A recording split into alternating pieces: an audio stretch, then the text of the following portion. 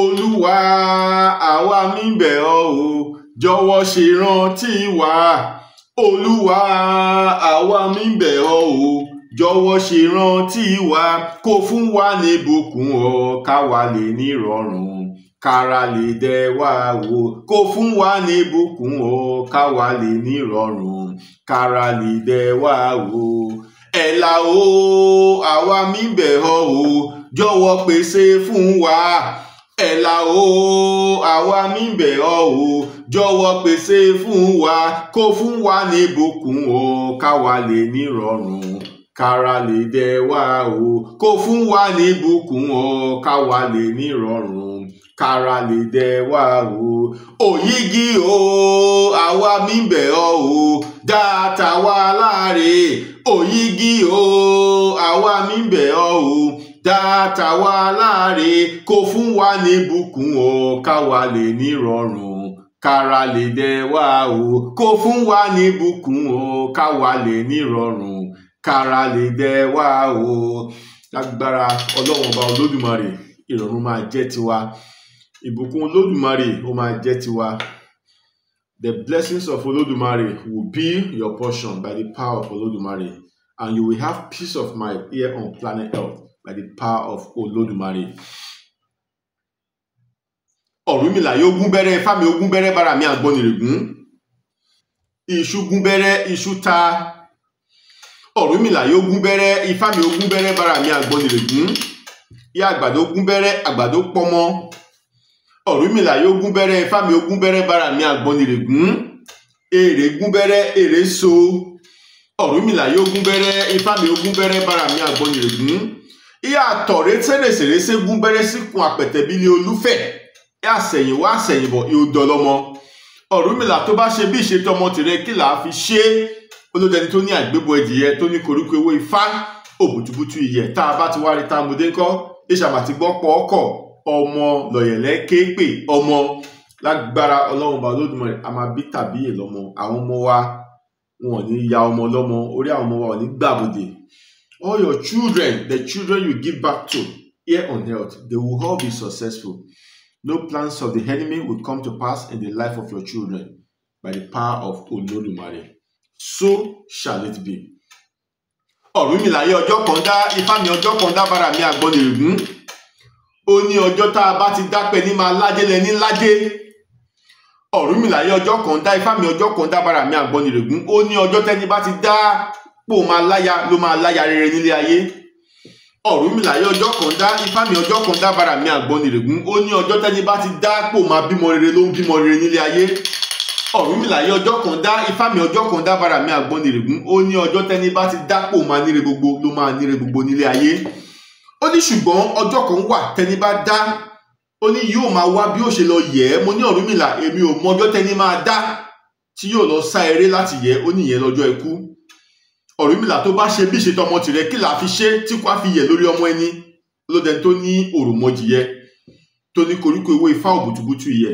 Tó bá ti wá rí tó mú dé kọ ọ̀rúnmìlà ó ní ṣé mi mọ̀ pé ikú yẹ ikú yẹ lòròmọjìyẹ ké sí? Ó ní ikú máa yẹ̀ lórí ọmọ tòun. Èṣe ikú mi yẹ ikú mi yẹ o ọ̀yẹ̀kú dé o ikú mi yẹ ikú mi yẹ lónìí o ikú mi yẹ o ọ̀yẹ̀kú dé o ikú mi yẹ ikú wa yẹ o ikú wa yẹ ọ̀yẹ̀kú dé o ikú wa yẹ ikú wa yẹ lónìí o ikú wa yẹ o ọ̀yẹ̀kú dé o ikú wa yẹ ikú wa yẹ lónìí o ikú wa yẹ o ọ̀yẹ̀kú dé o ikú wa yẹ lágbára ọlọ́run ọba olódùmarè ikú máa yẹ lórí gbogbo wa. Untimely death will not be your portion. Untimely death will not come to your family. Untimely death will not visit your life. Untimely death will not visit the life of your children by the power of olódùmarè. So shall it be. Ifá ní oníkẹ́kẹ́ ló lógún alábàjá ló lọ́gbọ̀n onípolóṣíkolo làádọ́ta. Àwọn ló dífá fún ọdún ìbákú èyí tí sọmọ bíbí inú àgbọn nìrègún abù fún ọdún ìbáyè ìjọ ọdún tí wọ́n ní èmi yóò kú òun lè dirẹ́ ti gbé lọ. Ẹ̀dìyẹ ìrìnà tí mo jù ú lẹ̀ òun ti gbé lọ o. Tnt rere. Àwòdì kàṣà ìgbékọ àwọn ọlọ́kọrin kése o. Tnt rere. Ikú ò ní pa wá àrùn ò ní ṣe wá lágbára ọlọ́wọ́ba olódùmarè. Once again we will not experience untimely death. Untimely death will not be our portion by the power of olódùmarè. And everything that you are thinking in your heart every good things you are thinking in your heart your creator will let it come to pass in your life by the power of olódùmarè. And everything that i have said now olódùmarè will put a stamp of authority on them àṣẹ àṣẹ àṣẹ. Àbọrú àbọyè àbọyè bọ ṣíṣe. Ogbó atọ àsúre ìwòrìwò fún. A good day to everyone. Good day to my viewers. Good day to my listeners. My name is babalawo ọlárẹwájú ifá damilare uh, i am here today to speak on what i call your ancestors. Your ancestors. Your ancestors. That is my purpose of this video. I want to speak on who are your ancestors. What relationship do they have with you? What relationship do you have with them what similarities do you have together that is why i am here today First of all, I'm taking you back to the previous Ifa poetry that I used in my veneration. The first Ifa poetry that I use is Ọ̀rúnmìlà Ogun Bẹ̀rẹ̀ Ifá mi that is Odù Ọ̀yẹ̀kú Òfún. Oyeku Ofun. If we also call the Oduifa Oyeku Ofo. So if anyone goes for a divination, or maybe somebody have that Oduifa from Igodu, Orumila is advising that person to be careful so that all this our endeavor in life will not be a wastage. That is where Ifa tag that name to be Oyeku Ofo. First says the person should offer sacrifice in order not to experience wastage, in order not to experience lost. That is Oyeku Ofo.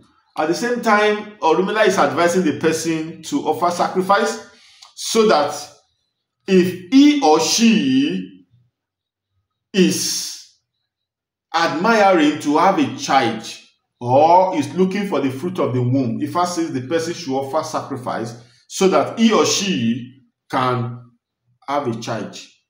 That is the word ogunbere mi ogunbere iṣu gunbere iṣu ta àgbàdo ogunbere àgbàdo pọmọ èrè ogunbere èrè so àtọ̀ rese àtọ̀ is known to be semen of a man which people call sperm e àtọ̀ retere àtọ̀ àtọ̀ rese rese rese e ogunbere síkun àpẹtẹbílí olúfẹ̀ So who are the Apetebili Olufe? That is the wife of Orumila, the wife of Ifa.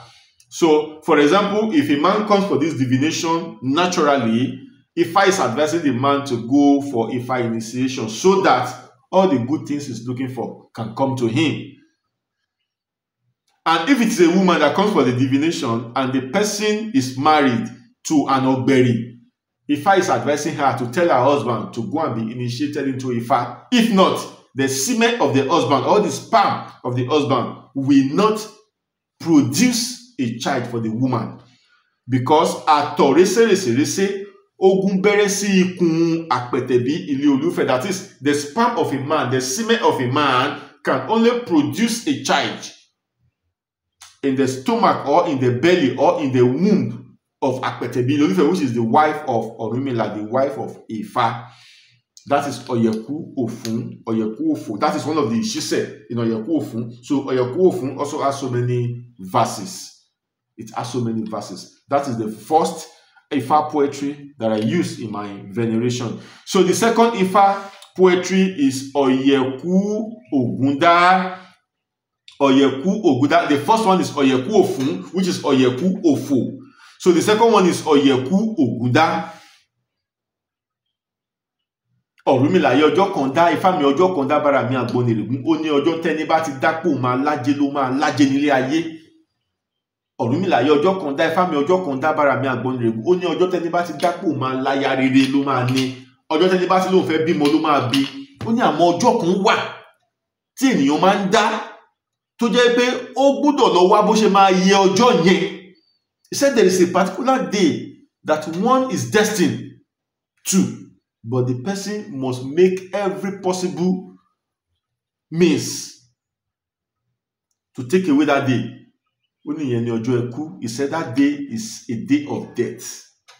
So once the person is able to offer the necessary sacrifice that death will be taken away from him or her so it was when the day the day of death was taken from Orunmila Orunmila was now singing. He says ikú mi yẹ lónìí o ikú mi yẹ òwò ọ̀yẹ̀kú dé o ikú mi yẹ. So lágbára Ọlọ́run bá lónìí ikú máa yẹ lórí gbogbo wa. So the third Odùifá is ọ̀wọ́nrín méjì oníkẹ́kẹ́ lólógún alábàjá ló lọ́gbọ̀n onípolóṣíkòló làádọ́ta so Ifá is asking this person ọ̀wọ́nrín méjì to offer sacrifice so that he will not experience untimely death is very important. So thank you very much. Elaboru, Elaboye once again, Elaboye Bosise Ogbuato, Asure Iwuri Wofun. Thank you very much. So today I want to speak on your ancestors. Who are your ancestors? What relationship do they have with you? What relationship do you have with them? First of all, your ancestors are the people who have the opportunity to live the life you are living now before you. They are your ancestors. Anyone who has the opportunity to come to this planet Earth before you is known to be your ancestors, which is your father, your mother, your grandfather, your grandmother, your great grandfather, your great grandmother, and so on and so forth. They are your ancestors. They are your ancestors. And uh, there are some things that will not happen in your life positively if you do not seek the consent of your ancestors. There are some things that will not happen positively in your life as a man, as a woman, if you do not seek the consent of your ancestors. It's very important. There are divinations, or there are some divinations you will make if we have to direct you back to your ancestors for a solution. So that is why today you must take note to acknowledge the people who have the opportunity to exist before you. They must be respected. They must be acknowledged in everything you do. They must be respected and acknowledged in everything you do if you want to live a successful life. Unfortunately, so many people today have no relationship with their ancestors. I come again. If you want to live a good and a successful life, a productive life, you must have a good relationship with your ancestors. That is the people who have the opportunity to exist before you. But unfortunately, you do not have relationship with them. How do we do it? How do we go about it? How do we advise you and you will understand the content of our advice? That is the problem the world are facing today. your ancestors. Yoruba will say, Òkúta bá sọlù ọ̀pẹ lọ̀pẹ ń ní. That is, if you throw a stone to the palm tree, the palm tree will return that same energy with which you throw that stone back to you. Òkúta bá ti sọ lọ̀pẹ lọ̀pẹ ń sọba ní. Meaning that there is not everything you do in order to appreciate your ancestors, everything you do in order to acknowledge your ancestors, that same energy, your ancestor will return it back to you positively. But today, do you know your father? Do you have a relationship with your father? Do you know your grandfather? Have you ever take your time to acknowledge your grandfather? Your great grandfather were no longer existing before your birth. Do you try to seek knowledge about your great grandfather? Who is he or who was he while he was alive? No information about your ancestors. All you know is about yourself, your name, your education, educational qualification, and so on and so forth. That is the things you can say about yourself. No knowledge, no information about the people who have the opportunity to live before you. And do not forget, a day is coming. You will also become an ancestor to your children. You will become an ancestor to your grandchildren. You will become an ancestor to your great grandchildren. So, this is an awakening call. It's a call, it's a message to awaken your spiritual mind.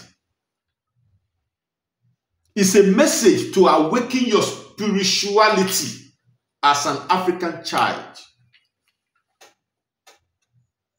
Your ancestors. I'm taking you to Odwifa Oyeku Ayelugbe. Oyeku Ayelugbe. Oyeku Ayelugbe says, Ọ̀rúnmìlà yóò di àlùgbé Ifámọ́ ló di àlùgbẹ̀san Báràmí Àgbọnnìrègún. Ó ní èwo làlùgbé èwo làlùgbẹ̀san. Ó ní ọmọ tí bàbá rẹ̀ bá tó warùn kì. Ọmọ tí ìyá rẹ̀ bá wí tó warùn kì. Ọmọ tí ìyá rẹ̀ bá bá wí tó mọ́ ìyá rẹ̀ lójú. Ó ló ti nà ìyá rẹ̀ ó ti nà bàbá rẹ̀ nìyẹn. Ó ní dájúdájú ọmọ á ṣe bẹ́ẹ̀ fún. That is Ọ̀yẹ̀kú Ayélógbé that is whatever you do to your parents, whatever you do to the people who have come to this life before you, the same thing your children will do to you. That is the voice of Oyeku Ayelogbe. So, are you seeing the reason why people are facing different challenges, different difficulties today?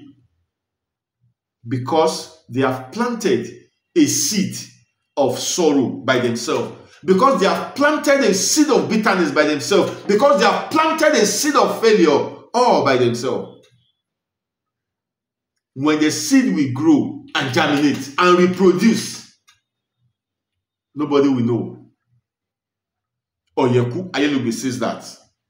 Ọ̀rúnmìlà yóò di àlùgbé, Ifámú ló di àlùgbẹ̀san Báràmí Àgbọnnìrègún. Ó ní èwo ni àlùgbé, èwo ni àlùgbẹ̀san. Ó ní ọmọ tí bàbá rẹ̀ bá wí tó bá warùnkìn ọmọ tó bá mú ìyá rẹ̀ lójú ọmọ tó bá wu ìwàkiwà sí bàbá tó bí lọ́mọ ó ló ti nà bàbá rẹ̀ nìyẹn ó ní dájúdájú ọmọ máa nà án. So you parents you need to learn from this Odùifá Ọ̀yẹ̀kú Ayélugbe. What are the attitudes you show your parents? Are you surprised that your child is also bringing the same energy, the same attitude to you now? and you thought the child is possessed. No, the child is not possessed. It's just as a result of what you planted, is what you are reaping. That is the basic truth of life. Your ancestors, that is the topic. Your ancestors, that is the topic. A lot of you, you are alive. Your mother is alive. But you are not interested in talking to your mother because somebody accused of accused your mother of a witchcraft And by since that time, you have decided not to have any relationship with your mother. But you have forgotten that if your mother is a witch, she carried you in her stomach for nine months. It would have been easy for her to eat you alive if she was a witch. But when you grow up, in the course of you searching for knowledge and wisdom, in the course of you searching for information, you met the wrong people and they told you that same mother, that same woman is a witch. Imagine. So today you are experiencing failure. Today you are experiencing setback. You believe it is because your mother is a witch. We all need to come back to the reality of life in order for us to be able to fulfill our destiny. We all need to come back to the reality of life in order for us to fulfill our destiny. So many of you, you have refused to have a relationship with your father, all because of what your mother told you about your father. Yes, your father had done the wrong thing. It's understandable. But in order for you not to inherit a curse, in order for you not to inherit a curse, you need to let go of offense. You must forget about what your father had done.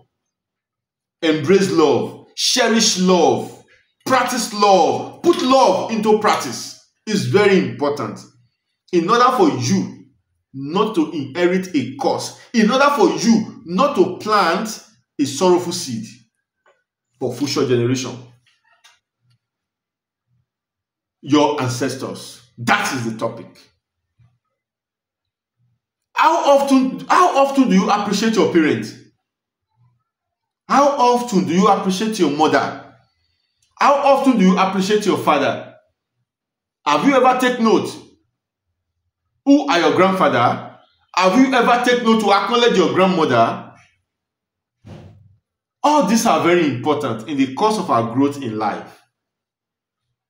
Everything is not about witches and wizards. Everything is not about batting a soap. Everything is not about asege. Everything is not about somebody is inflicting pain on me. Everything is not about I've tried, I've tried. No, you need to seek knowledge. What is the cause of your failure? Have you ever asked yourself some questions? Why am I experiencing failure? Have you? This is a call of awakening. It's a call to awaken your spirit. Whatever you sow, you shall reap. That is the law of nature. Whatever you plant will germinate, will grow, and we will multiply back to you. That is the law of nature.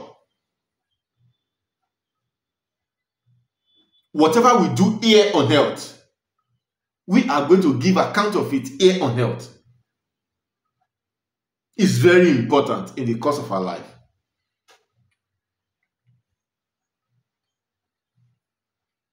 Ọ̀rúnmìlà yí ọ̀rẹ́ rẹ̀ ifá mi pọ̀ sí bára mi àgbọ́nirègún i olúfẹ́ǹfẹ́ mi olúfẹ́ǹfẹ́ ìṣe kí ọmọ aláwòrògùn bá ṣe fẹ́ ògùn rẹ̀ sí ibẹ̀ náà ni ògùn rẹ̀ á ṣe fẹ́ràn rẹ̀. That is a powerful words. That is the message of ifá. The same ọ̀yẹ̀kú ayélugbè that is another ìṣísẹ̀ iná odò ifá ọ̀yẹ̀kú ayélugbè ọ̀rúnmìlà yí ọ̀rẹ́ rẹ̀ ni rẹ̀ ifá mi pọ̀ sí i. Olúfẹ́ǹfẹ́ mi olúfẹ́ǹfẹ́ ìṣe kí aláwòrò òjà bá ti fẹ́ òjà rẹ̀ sí bẹ́ẹ̀ náà ni òjà rẹ̀ á ṣe fẹ́ràn rẹ̀ sí. ọ̀rúnmìlà yí ọ̀rẹ́rẹ́ nílé fámi pọ̀ṣì í olúfẹ́ǹfẹ́ mi olúfẹ́ǹfẹ́ ṣe kí ọmọ aláwòrò ọ̀ṣun bá ti fẹ́ ọ̀ṣun rẹ̀ sí ibẹ̀ náà ni ọ̀ṣun á ṣe fẹ́ràn rẹ̀ sí. ṣe kí ọmọ akápò tòun èrìgì àlọ́ àbí ẹnì kan ṣọwọ́ gínígíní dáhùn kò ṣe kí bá ti fẹ́ òun sí ìhù ṣe náà lòun á fẹ́ sí. What is the meaning of that message? In Ọ̀yẹ̀kú Ayélógbè the ìṣúṣe Ifá. Ọ̀rẹ́rẹ́ ní rèmí pọ̀ sí yí olúfẹ́ǹfẹ́ mi olúfẹ́ǹfẹ́ ó ní bí ọmọ aláwòrò Ògún bá ṣe fẹ́ Ògún sí that is the more the follower of Ògún show appreciation to Ògún show love to Ògún the same energy Ògún will take back to them or will give back to them. Meaning that the same energy you give to your mother, the energy you give to your father is what they are returning back to you spiritually. Have you ever received a words of veneration from your mother? Has your father ever prayed for you, ever venerate for you? It's very important. Go and make research about my message. Whatever that comes out of my mouth is the wisdom of Olodumare. I do not speak for speaking sake. I do not speak for fun. I speak spiritual message, spiritual knowledge, deep knowledge of Olodumare. What relationship do you have with your creator? If you do not have relationship with your creator, how do you now want to have relationship with your ancestors? Your ancestors are the people who have the opportunity to bring you to life. Without your ancestors, you will not be existing today. But unfortunately, majority of you still believe that it is Jesus that created you. So you are living your life for Jesus. That is a deceit. We call it ẹ̀tàn in Yoruba language. ìnodù ifá ọ̀bàrà ìlẹ̀kẹ̀ ọ̀rúnmìlà yẹ ẹ̀tàn dẹ̀rẹ̀ níre fámi ẹ̀tàn jẹ́ bára mi àgbọnnìrègún ó ní kí wọ́n sọ fún aláwòrán ògún kó má tan ògún rẹ̀ jẹ kí ògún má bàa tàn jẹ yẹ ẹ̀tàn dẹ̀rẹ̀ níre fámi ẹ̀tàn jẹ́ bára mi àgbọnnìrègún ó ní kí wọ́n sọ fún aláwòrán òjá kó má tan òjá rẹ̀ jẹ kí òjá má bàa tàn jẹ kí wọ́n sọ fún aláwòrán ọ̀ṣun kó má tan ọ̀ṣun jẹ kí ọ̀ṣun rẹ̀ má bàa tàn jẹ ó ní kí wọ́n sọ fún akápòtò èrìgì àlọ́ kó má má bá òun fi ẹ̀tàn ṣeré A lot of you are living your life in deceit. You are living a fake life. And a fake life cannot take you to anywhere. Because when the result of the fake life will come, it might meet you unaware.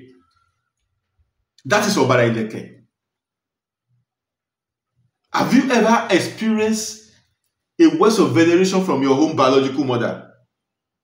because your mother told you your father got married to another woman because your mother told you your father abandoned your all the children so you decided not to have a relationship with your father you are actually bringing a curse upon yourself. That is the reality of life. This has nothing to do with emotions.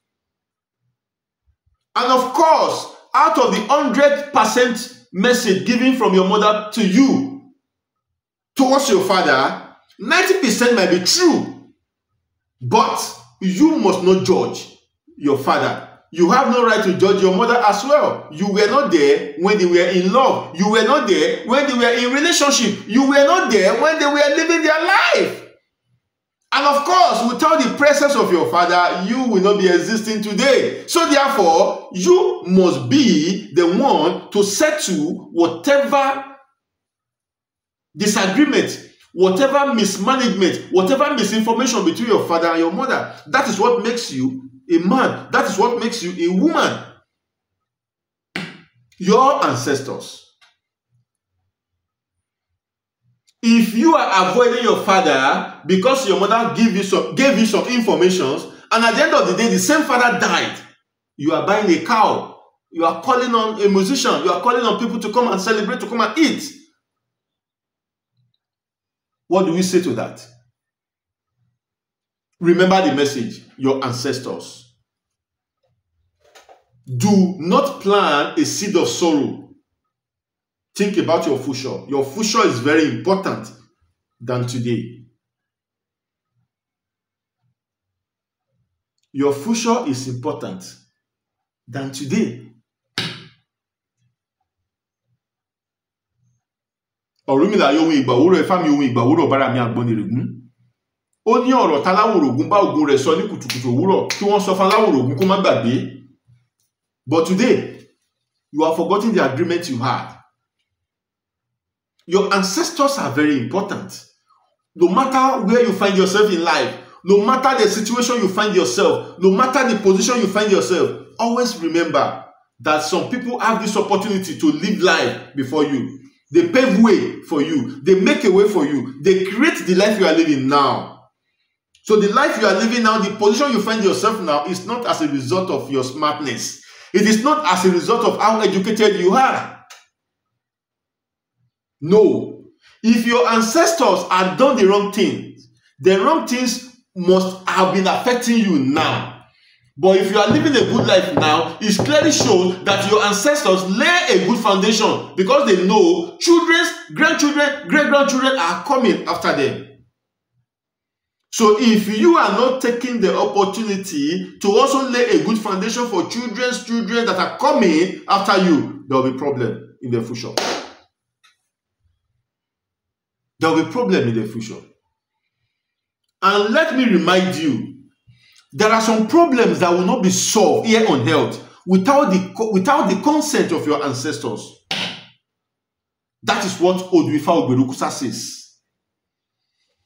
There are some problems that will not be solved. There are some problems that will never have a solution if you do not run back to your ancestors and seek their consent. Those problems will never be solved. That is what Ifa Ogberukusa says. Ọ̀rúnmìlà yóò dò tìrì púpọ̀ níjọyìn. Ifá mo ní ara odò alẹ̀ ló máa bá ní ṣe. Ó ní ara odò alẹ̀ wo ni mo mọ̀ tó ń bá ní ṣe tó fi ń gún régé tó fi ń yọrí sí rere. Mo ní ọlọ́ta nílé adó, Ọ̀rúnmìlà ní kò ń ṣọlọ́ta nílé adó.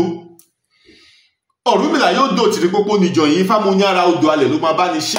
Ó ní ara odò alẹ̀ ni mo mọ̀ tó máa bá ní ṣe tá fi gún régé. Mo ní erin mi lóde ọ̀wọ̀, Ọ̀rúnmìlà ní rárá ọ̀rúnmìlà yóò di òtìrí pópó nìjọyìn ifá mo ní ara odò alẹ̀ ló máa bá ní ṣe bára mi àgbọnìrègún. Ó ní ara odò alẹ̀ wo ni mo mọ̀ tó ń bá ní ṣe tó fi ń gúrégé? Mo ní pẹ́ẹ̀pẹ́ lóde àṣe onírárá aláàfin nílùú ọ̀yọ́ ọ̀rúnmìlà ní rárá. Ọ̀ọ̀ni alálẹ̀kọ ìṣúrú ọ̀rúnmìlà ní rárá. Mo ní ọ̀rúnmìlà èmi ti jẹ́wọ́ ọ̀bùn dá mi láṣọrò èmi ò mú ẹni tó tó bá ní ṣe nígbà ogun bá dé nígbà ogun bá le. Ó ní àfi bàbá ẹni tàbí ìyá ẹni tó ti fini sílẹ̀ sí ayé lọ ó ní àwọn ẹni tó tó tó ń bá ní ṣe. So what do you understand by this message? So Ọ̀rúnmìlà was trying to pass a message across to you you know Odwifa Ogberikusa that a time is coming the world will rise against you. Human will rise against you. The human will want to fight you. People will want to rise and fight you. He said when this day come who do you run to I said you run to Olota Nile Ado. That is the king of Ado Ekiti. Orumila says the king of Ado Ekiti is not capable to handle such situation. I said you will run to Erimilodiowo. That is the king of Owo. Orumila says the king of Owo is not capable. I keep mentioning all the kings that I know that are powerful. Orumila says they, they are not capable. Both the Oni, Alaleko that is the Oni of Ife, Alaafin Oyo. Orumila says they are not capable. I says Orumila, I have come to confess. I don't know who is capable to solve my problem when the problem comes. He says it is one father and one mother who is no longer here on planet Earth. He said they are the ones that are capable of solving those problems. And these same people are the people you are not interested in having a relationship with. Are you seeing why there is problem? Are you seeing why there are failures? Are you seeing why there are setbacks? Are you seeing why you are experiencing difficulties? Your mate are getting married, you have no chance for getting a, a good husband. Your mate are getting good wife, you are not getting good wives. Your mate are having children, there's no children. Your mate are having good job, there's no job. And all these things, when you sit down alone, probably with your friends, you think it's the witches and wizards. But have you ever questioned yourself to ask, who am I? Why am I existing? Who do I need to run to? These are very important questions we always need to ask ourselves. They are very important questions. They are very important questions. Ifá ní ẹ̀bùtì búkẹ́ awọ ẹ̀bá ọ̀nà babaláwo òkú ló dífájọ́ kan fún òkú òkú ló fẹ́ kúrò nílé ayé tó lọ sálèdè ọ̀run. Ó lè dálèdè ọ̀run kó ń láǹfààní àti máa bojú wẹ̀yìn wà ọmọ tó ń fi sílẹ̀ sílé ayé. Wọ́n ní kó wá rúbọ. Wọ́n ní tó bá ti rúbọ wọ́n ní tó bá dálèdè ọ̀run ó máa láǹfààní àti máa bojú wà ọmọ tó fi sílẹ̀ sílé ayé. Ó sáré sẹ́bọ̀ rúbọ ó dálèdè ọ̀run bẹ́ẹ̀ ló ń bojú wà ọmọ tó fi sílẹ̀ sílé ayé. Ijó ló ń jó ayọ̀ ní yọ̀ ó yin àwọn awo awó yin fá Ifeanyi Olódùmarè ọba tẹ́lílẹ́gẹ́ forí ṣàpèjì omi. Èṣe kàṣà ìbójú wẹ̀yìn kàṣà ìbójú wẹ̀yìn òkú ọlọ́mọ yọyọ kàṣà ìbójú wẹ̀yìn meaning that the people who have died the people who have the opportunity to live this life before you they are not sleeping. They are awake. They are looking at everything you are doing. They are monitoring every activities of, of what of, of your life. They are only asking you to come. Seek their consent. Seek for, the, for, for their assistance. Seek for their help. But there is no knowledge about this you have no knowledge about this. You have no information about this. All you know is just to live your life. Have fun smoke drink humanize. No life is beyond that. You've got to understand what life requires. You've got to understand what life requires and entails. You cannot continue to live your life the way you want to live it. Of course it's your life but you must believe that this life is spiritual 99% spiritual and 1% physical. There is no evil things that will happen to you today. It has happened few months ago spiritually. There is no great things or good things that will come to you. It has come to you few months ago spiritually. So the physical life is just a manifestation of the spiritual activities. So if you are not spiritually entitled to goodness, goodness will not come to you physically. So whatever bad things that happens to you, it clearly shows you are spiritually qualified for that bad thing. You are qualified for it. You've got to understand how life rotates. You've got to understand how the life works. Cultivate the attitude of relationship with your ancestors today. It's very important. Do not see your ancestors as nobody. Cultivate a good relationship with them.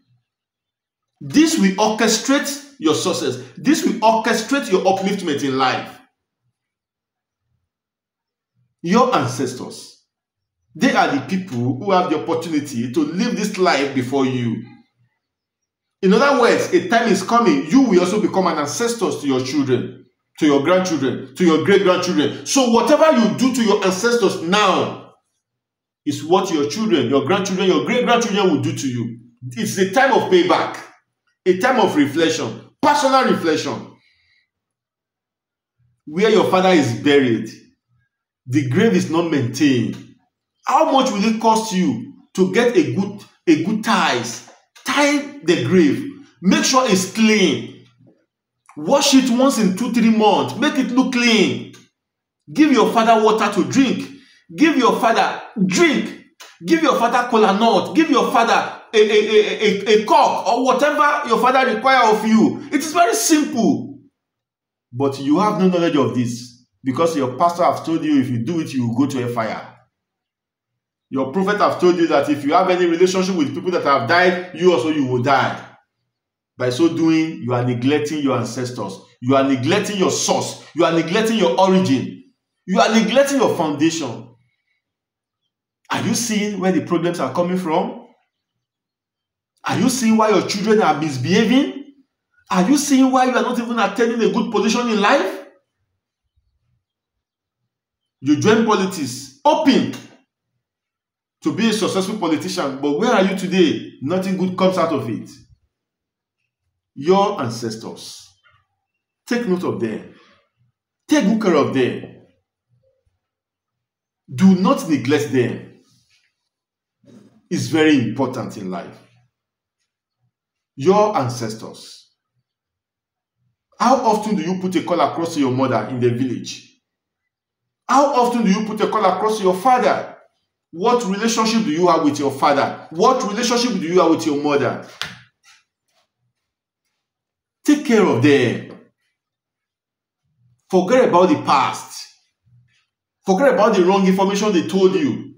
Even if the information were right, you still need to forget about it in order not to lay a foundation of course for yourself and your children that are coming. Your ancestors. Unfortunately, a lot of you were given birth to in another country. In Canada, in America, in UK, You have you you've not even been to Nigeria, let alone knowing where you came from. You have a lot of work to do. That is why you are experiencing what you are experiencing now. It is time for you to settle down. There's no man that is coming for your hand in marriage. You suddenly find yourself in a bad group, smoking, drinking, humanizing. You just involve yourself in so many criminal activities. And sometimes you sit down and ask yourself, why am I doing this? You do not understand. There is a cause that is affecting you. That cause, you need to trace the foundation of that cause. It's very important. I speak about reality.